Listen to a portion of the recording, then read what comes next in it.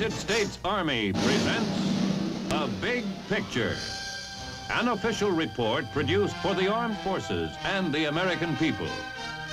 Now, to show you part of the big picture, here is Sergeant Stuart Queen. Today, the big picture is presenting the story of a man who holds one of the outstanding military records in modern history. A great field commander, a remarkable chief of staff, a military governor without parallel in modern times. His career has had many phases. It has been long and glorious. Above all, it has the glow of tremendous personal integrity. Douglas MacArthur, General of the Army, an historic figure in an historic speech before a joint meeting of Congress.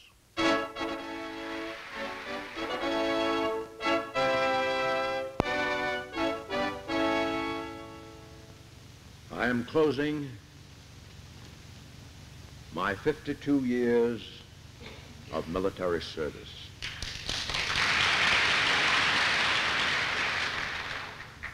When I joined the Army, even before the turn of the century, it was the fulfillment of all my boyish hopes and dreams. The world has turned over many times since I took the oath on the plain at West Point. Indeed, much has happened to the world since Douglas MacArthur took the oath at West Point, and in the wars and the periods of peace since, he has often been a central and dramatic figure. The beginning of an extraordinary career. Young Douglas with his father, General Arthur MacArthur, boy colonel in the Civil War and veteran of the Philippine campaign in the Spanish-American War. One day when the son was 13 years old, his father is said to have remarked, I think there is the material of a soldier in that boy. A truth that was soon made clear. Entering West Point, he showed extraordinary brilliance in his studies, attaining an average that was the highest in a quarter of a century. And he won the coveted A in athletics as well. 25 years later, he was to lead the American team in the World Olympic Games. Meanwhile, the campaign in the Philippines was being brought to a successful completion under his father's able leadership.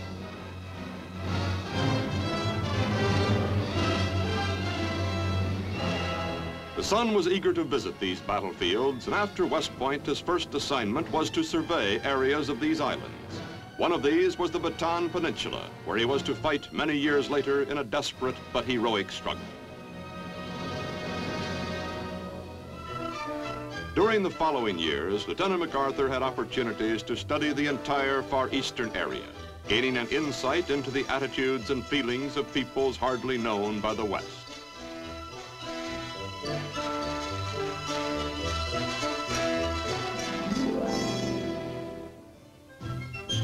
At the beginning of World War I, the plan was to use only regular Army divisions to oppose the powerful German Army. Meanwhile, outside these divisions, America had many trained and able men. A proposal for a new division of National Guard units from as many states as possible was vigorously advocated by a Major Douglas MacArthur. Said he, it will spread over the whole country like a rainbow. The idea for the Rainbow Division, the 42nd, was his, and he worked constantly to see that the division was well trained and equipped for the raging battle that awaited it in France.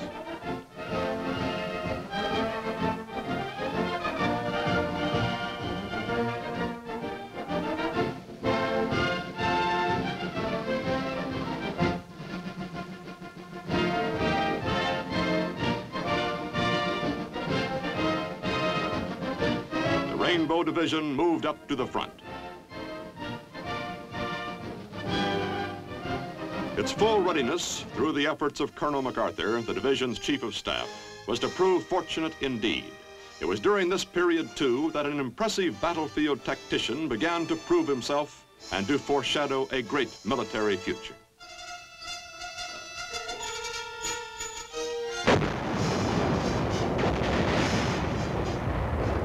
Soon known for brilliant decisions on the battlefield, Colonel MacArthur was also to gain a reputation as a man who faced danger completely unafraid. Before long, he was in command of the Rainbow Division, the youngest American division commander in the war.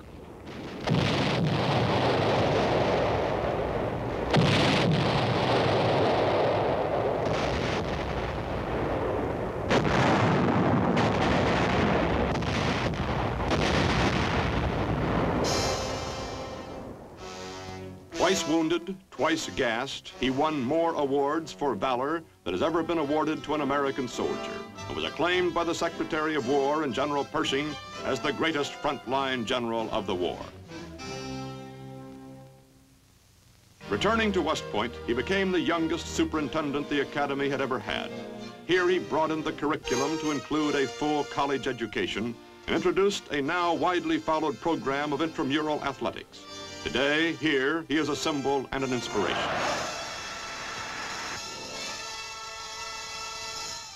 In 1930, MacArthur was appointed Chief of Staff with the rank of full general. During his term of office, much of his time was spent in building an army that had been pared down to only 60,000 combat soldiers, a most difficult effort when an attitude of pacifism dominated the nation. In keeping with his principle of examining the military situation at close range, he toured Europe to observe the forces of other nations. In France, he was recognized once more for his outstanding military contribution to the Allied cause. In Germany, he foresaw the build-up for war.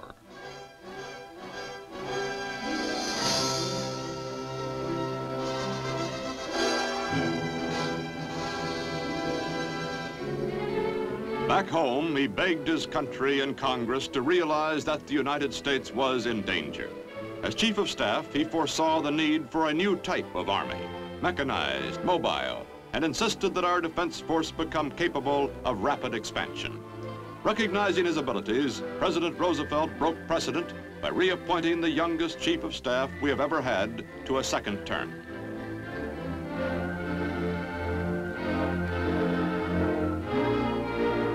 In the 20s, MacArthur had served in the Philippines, and in the 30s he was asked to return as their military advisor.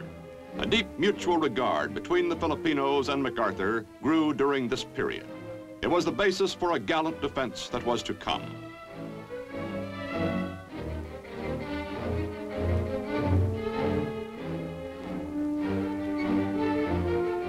In 1935, he began a 10-year plan to build up the defense of the Philippines. In World War II, it was to be these forces that MacArthur would lead in a desperate fight, and on this ground.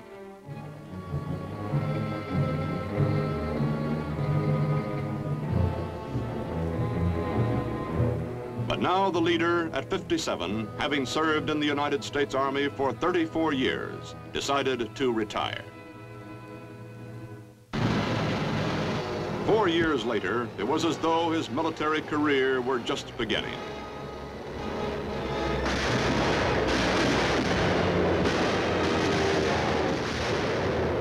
Months before the attack upon Pearl Harbor, MacArthur had been recalled to active service in the Philippines. On the day after Pearl Harbor, the Philippines too were under attack.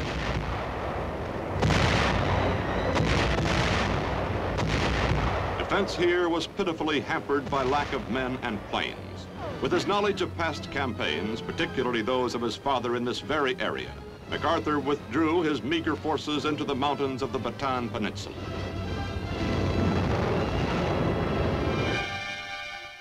From the rocky fortress of Corregidor, he directed an operation as crucial as any in the war. This early campaign in the Philippines, the heroic fighting by a lonely army of Filipinos and Americans for almost half a year, caused a critical delay in the Japanese timetable of attack.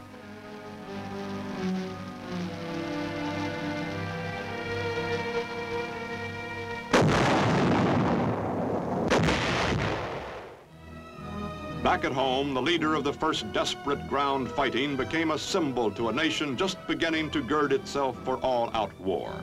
The people found in him what they were beginning to discover in themselves, a spirit of intense determination.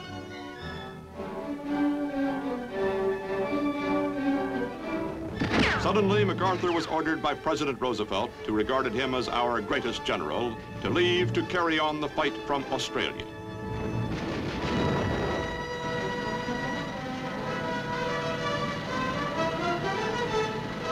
Leaving the Philippines hurt him deeply. As always, he wished to be at the front, beside his comrades. When finally they were forced into the infamous March of Death of Bataan, his promise to them was, I shall return. They believed him implicitly. Until his arrival in Australia, the plan had been to await the Japanese attack and prepare as well as possible. Then it became apparent that the new Southwest Pacific commander had another plan. He had meant exactly, I shall return. He was determined to carry the war to the enemy, to New Guinea, which was the direct route back to the Philippines. A long struggle lay ahead against huge numbers on countless islands. There seemed to be but one way, blast the enemy from every one of his island positions in the Pacific.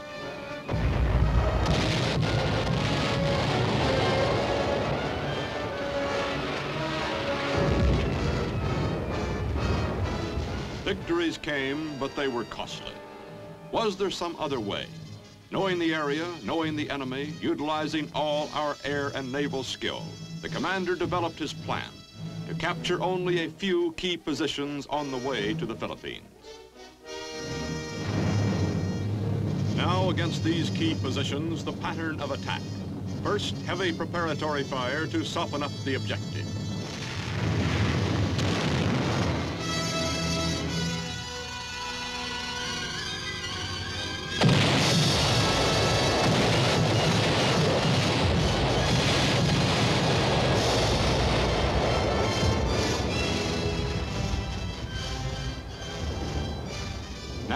Landings.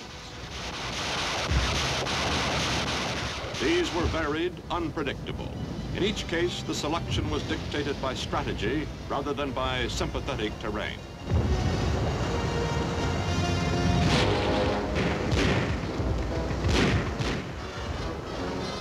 There were many beaches. Some were ideal, hardly more than a matter of getting one's feet wet. Meanwhile, the gain was tremendous, the enemy never having expected us to come ashore here. There were other shores, many of them wicked.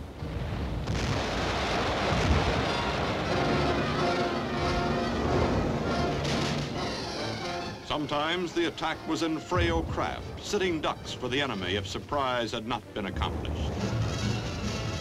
On another beach, amphibious tractors. Continually the envelopment, the flank attack, decisions, difficult ones, boldly made, based upon unique knowledge and experience. In addition, a mastery by MacArthur of combined operations of the three arms, the key to modern warfare. Leaders and men shared the glow of victory. Losses on the Allied side were relatively small since damaging frontal assaults were avoided. But thousands of Japanese prepared to fight to the death were rarely given this opportunity. Although many were captured, thousands more were isolated, their supply and communication lines destroyed. In the words of the strategist who conceived and carried out the plan, the main body of the enemy was left to wither on the vine. To the outside world, to many who saw the newsreels, the progress being made by the general was admired and applauded. But to those who understood MacArthur, they saw beneath every move his determination to return to the Philippines. This to him was a moral obligation. These islands, a second home and a place where he had left his comrades, were to be the springboard for ultimate victory over Japan. Invasions in the Southwest Pacific continue. To the commander, these hard-fought steps zigzagging along the coast of New Guinea were preliminaries, necessary ones. Finally, having gained the northwestern end of the island, with thousands of the enemy bypassed, there was no question in his mind as to the next objective.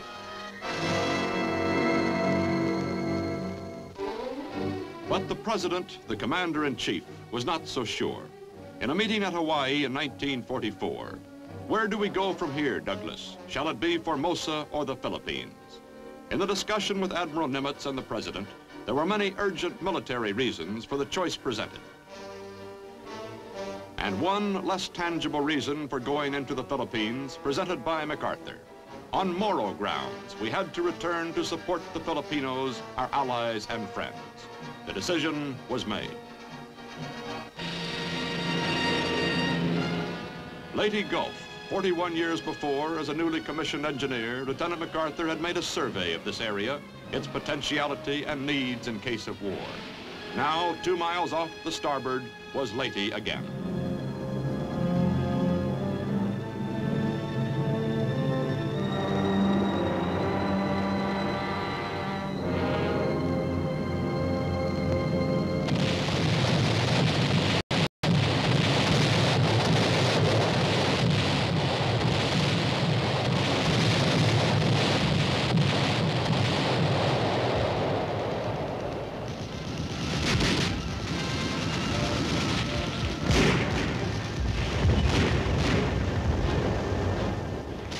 Once more, the enemy had not been ready for an attack. The commander watched with growing gratification.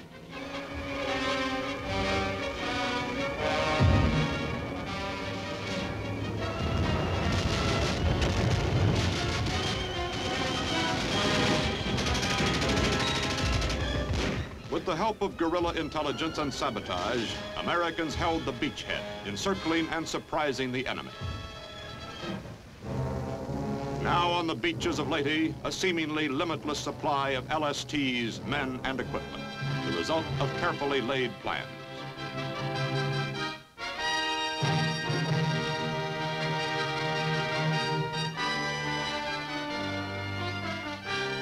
Directing the attack, the general seemed to be everywhere at once. Every day, at some point in the front lines, his men would spot the familiar faded field marshal's cap and the outsized corncob pipe. Landings at Leyte and Lingayen Gulf finally brought troops on the final difficult leg of the journey. On the road to Manila, where the going became more difficult as the enemy threw in huge numbers of reinforcements in an all-out effort to halt the steady advance. There was no timetable now in MacArthur's mind, only that he must get to Manila without delay to rescue prisoners from the reported increasing savagery of the Japanese guards.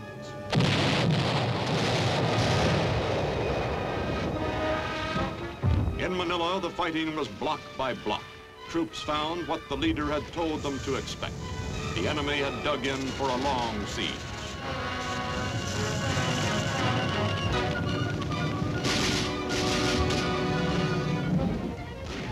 To the general, this was the return.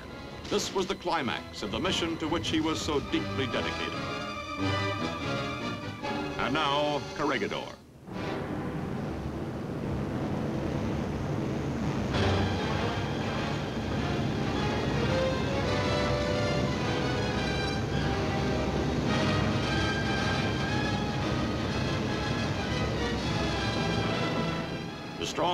Which early in the war had been so effective a fortress for withstanding attack, was now his.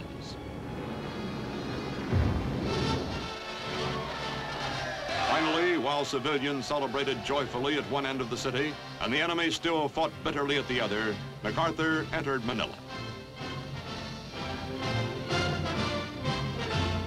He had kept the soldiers' faith. Probably his greatest reward was the visit to prison camps. Santo Tomas, Bilibid, Cabanatuan, Los Baños. A series of daring surprise raids had rescued every prisoner held by the Japanese.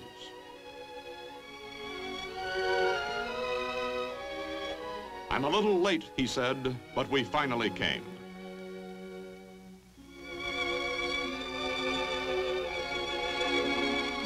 Once more, Corregidor and the Philippines were under an American flag. Then, suddenly and swiftly, the war against Japan was brought to a close. As the principal architect of the Pacific victory, credited by the chief of Britain's wartime Imperial General Staff as the greatest general of the war, MacArthur was the natural choice as supreme commander to enforce the surrender terms.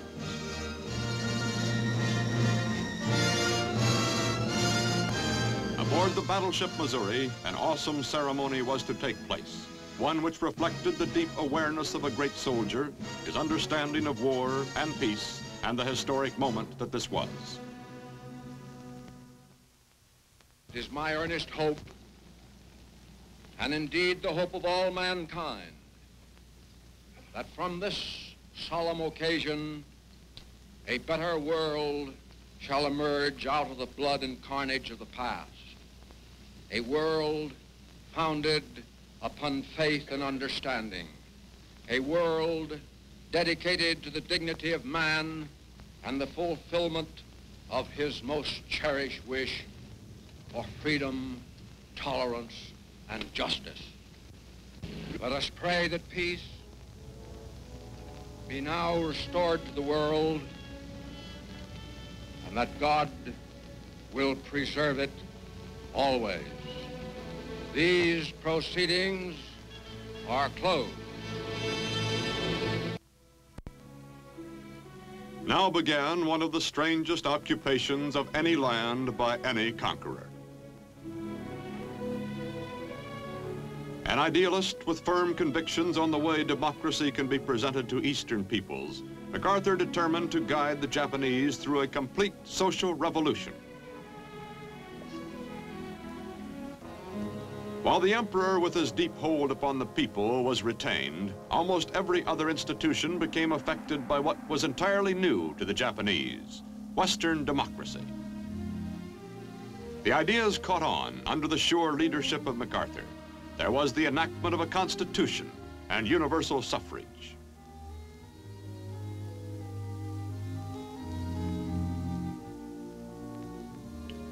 The National Diet, highest organ of state power, became responsible to the people. Monopolies were broken up. Land reform was instituted, which transformed tenants into owners. These rural capitalists became a strong bulwark against communism. In Japan, the social reforms urged by MacArthur proved one of the most successful experiments in history.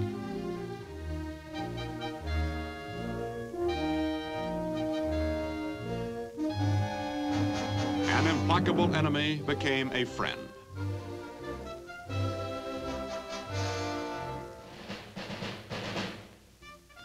During the occupation, the people took him to their hearts, and his family as well.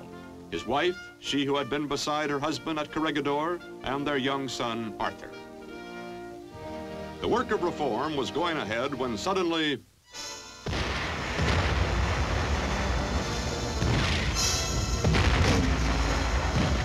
huge military force swept down from North Korea across the 38th parallel.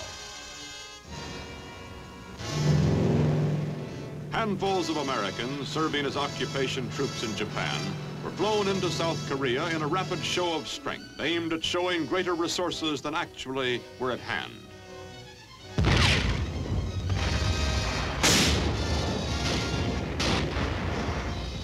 The strategy worked. The North Koreans ran into resistance, bogged down, waiting for more troops and artillery, while reinforcements poured into South Korea to turn the tide of battle.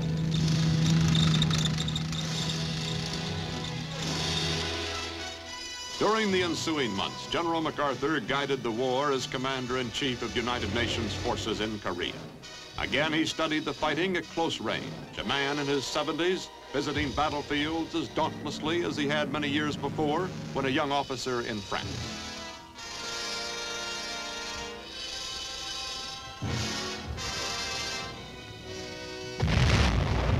Then came the daring amphibious attack at Incheon, behind the enemy's lines on a shore that others had declared too risky. The landing was a complete surprise and success. The North Korean army was demoralized. The victory has become recognized as a masterpiece of strategy. Seoul returned to its rightful inhabitants. There had been a long line of cities and towns returned under MacArthur's leadership. It was at this time that President Truman cited MacArthur for his vision, his judgment, his indomitable will, his unshakable faith. The Korean War continued northward. The orders were the destruction of the North Korean armed forces. And then the Chinese communists entered the conflict, posing new questions in Washington, not only military, but political. While carrying out what he considered to be his duty as Supreme Commander, the pursuit of victory on the battlefield, General MacArthur came into conflict with those he served. His long and distinguished military career was suddenly brought to a close in an official order from the President, Commander-in-Chief of the Military Forces of the United States. He was homeward bound for the first time in 14 years.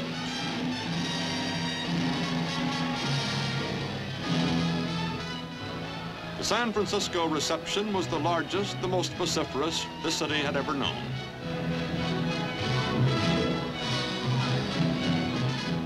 The hero was home from the wars at last and deserving the deepest respect and gratitude of the people he had served.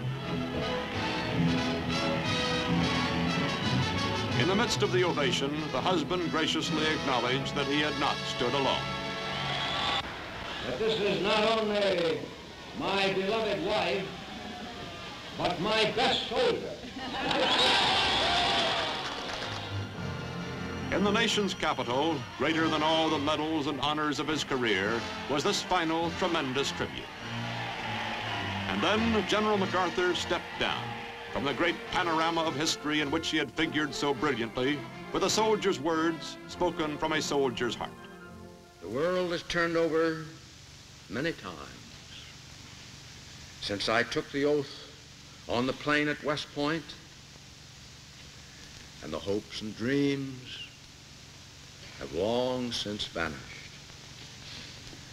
But I still remember the refrain of one of the most popular barrack ballads of that day, which proclaimed most proudly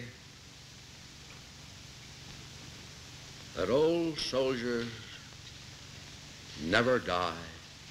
They just fade away. And like the old soldier of that ballad, I now close my military career and just fade away. An old soldier who tried to do his duty as God gave him the light to see that duty. Goodbye.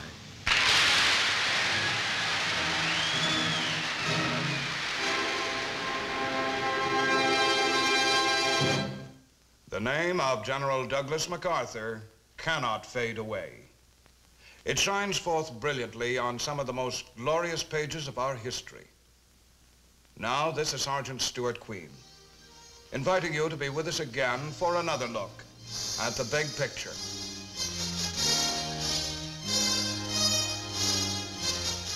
The Big Picture is an official report for the armed forces and the American people.